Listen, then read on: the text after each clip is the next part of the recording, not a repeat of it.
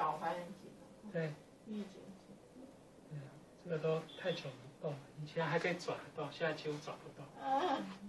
这个都要慢慢搓开了。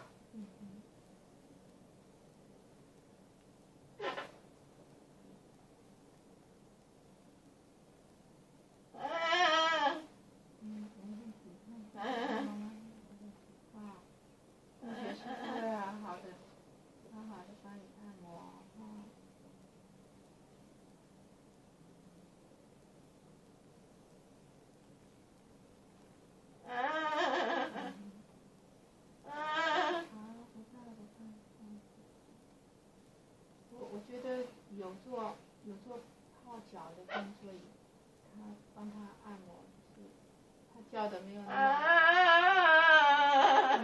么。这条是，后面应该很酸痛。这跟腱、脚腱，就是这一条太硬了哈，它都把它绷着，它就一直在那个区位。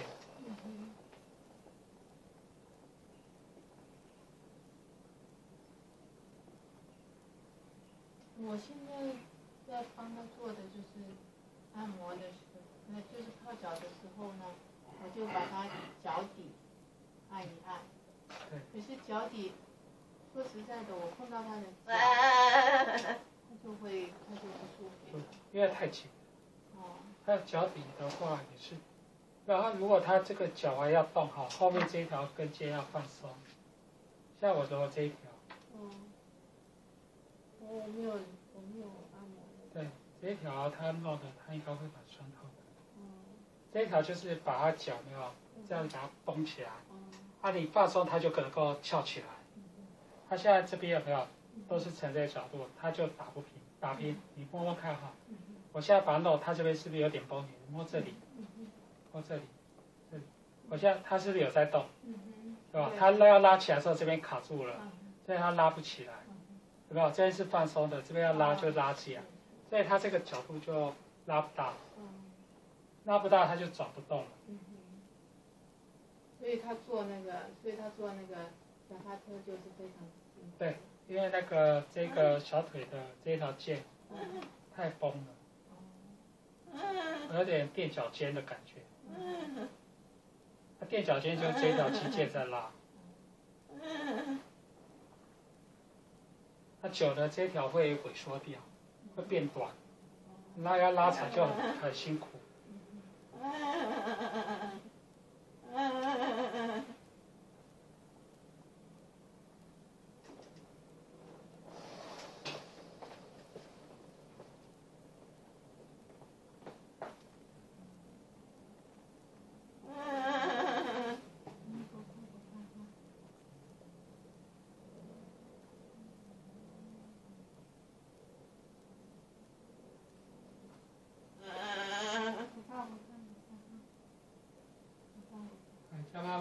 somehow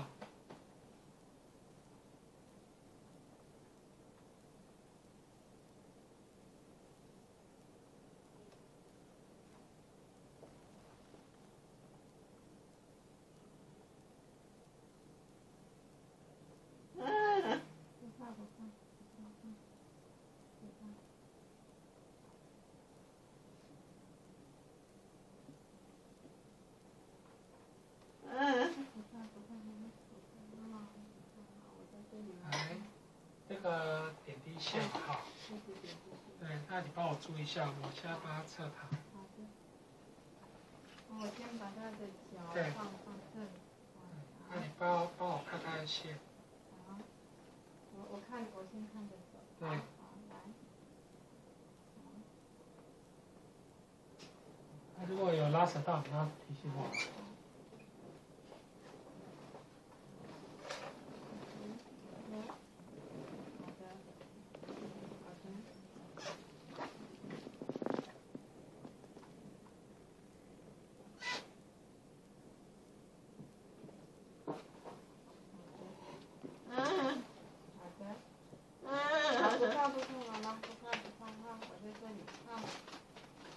妈，我在这里不怕，不怕，不怕。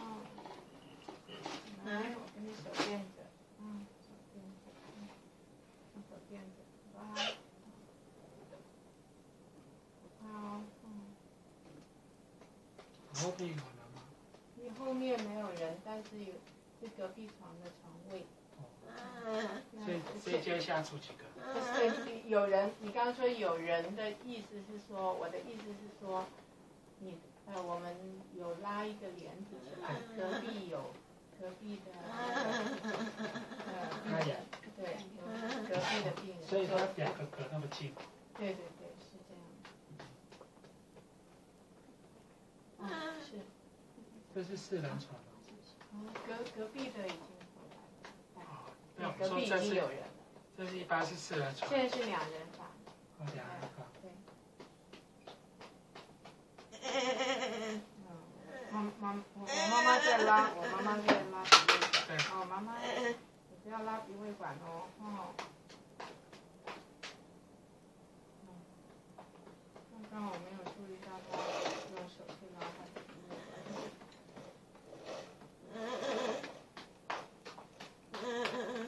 好，不怕不怕，现在帮你按摩头哦，哈，按头哦，哈。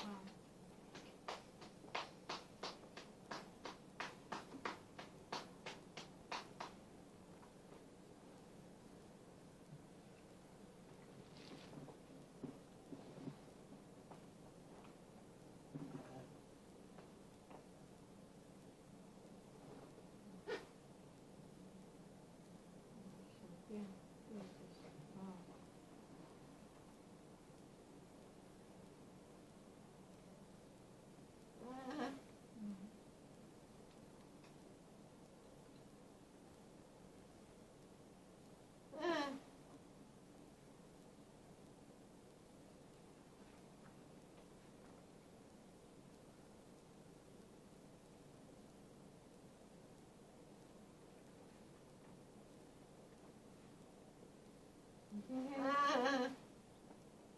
在网络上看到一个一个文章，说按摩的事情。他在说这个手，其实手上就有很多穴道。有。如果你把手上的穴道给给按摩了，其实。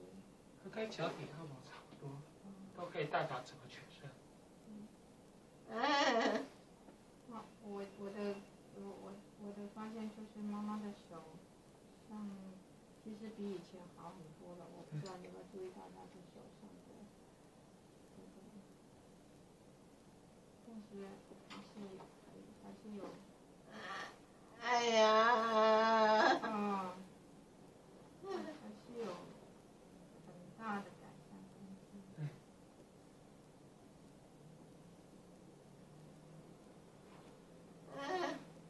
不怕不怕。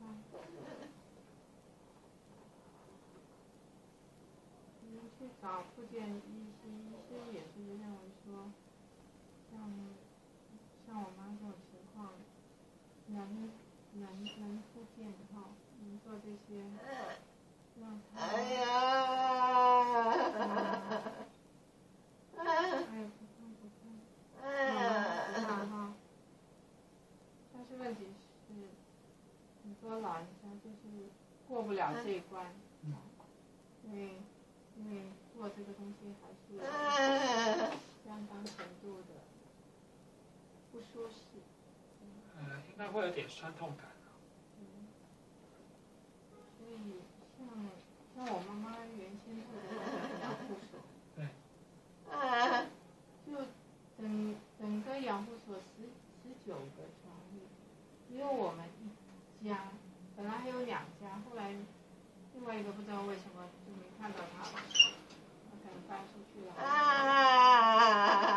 这十九床只有我们一床在做复健。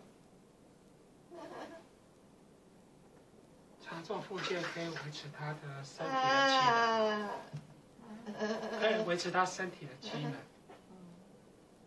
可是问题是，复健做复健需要的那个钱。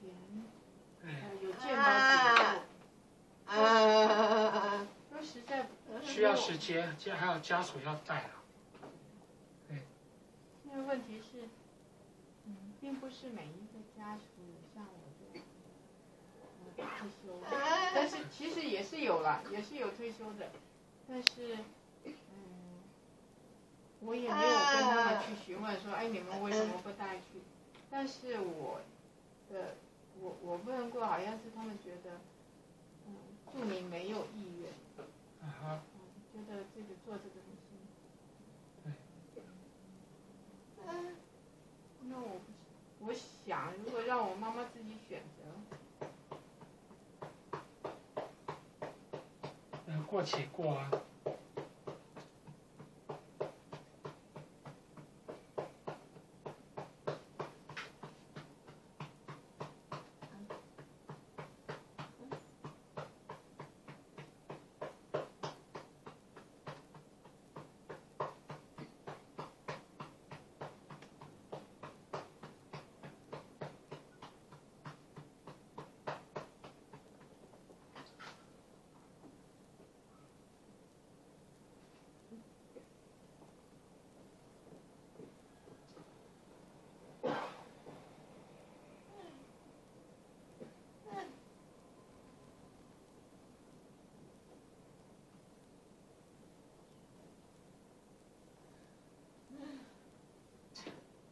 阿姨，喘一口气。喘一口大气啊，妈妈哈。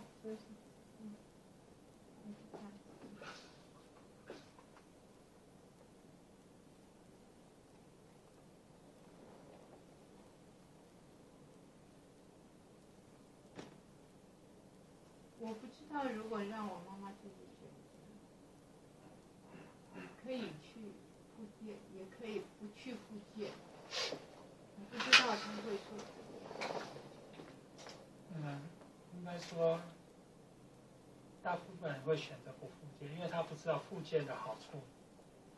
他他他会认为应该就这样就就是这样子。可是如果常做复健有有那个好处出来的话，他会选择复健。就是开头最难。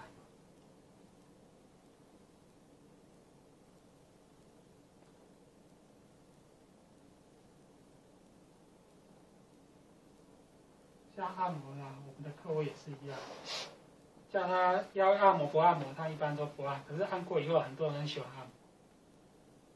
你没有接触过，不知道他的好，他就会觉得说啊，没必要啦，也没什么差。可是按了以后，他那个身体的轻松度啊，他就感觉到哦，竟然是这么舒服。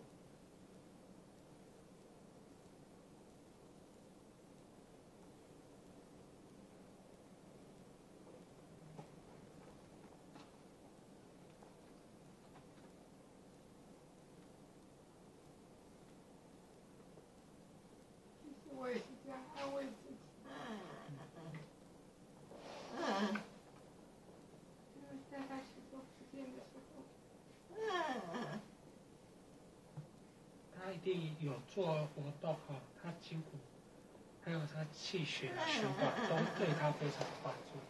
那很多人家老人家说啊，爸爸看起来没事，其实他机能是越来越退化。但是有做复健啊，有做这些按摩，它可以维持他很久的这个机能，不会让他退的那么快。对，那他身体会比较舒服，然后机能也会维持住。所以很多人就说啊，那个看起来没事，可是他事实上，他是一直在退化，在只是你看不到。像我们一般人躺在床上，如果都不做复健啊，不做这些按摩的话，一般呢躺大概一个月到两个月，他几乎就不能站起来了，因为他的筋骨啊、关节都僵掉，然后肌肉都都没力了，所以都要做这个活动，帮他活动。可是因为他都站着哈。他没有站起来，所以你都不知道。等到要站，他已经不能站。可是，一般人我们在看的时候都觉得说啊，还好好的，脚也没坏呀，什么都没坏呀。可是等到他真要站起来，那时候问题就大了。可是旁边人在看的人觉得说，啊，躺着好好，躺着好好的啊，他也不会不舒服，也不会怎么样。可是很多人就就从此就站不起来了，就要坐轮椅。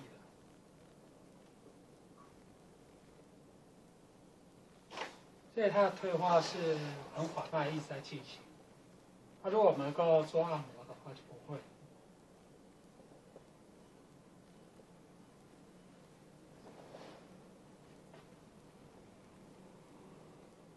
像加巴巴洛一开。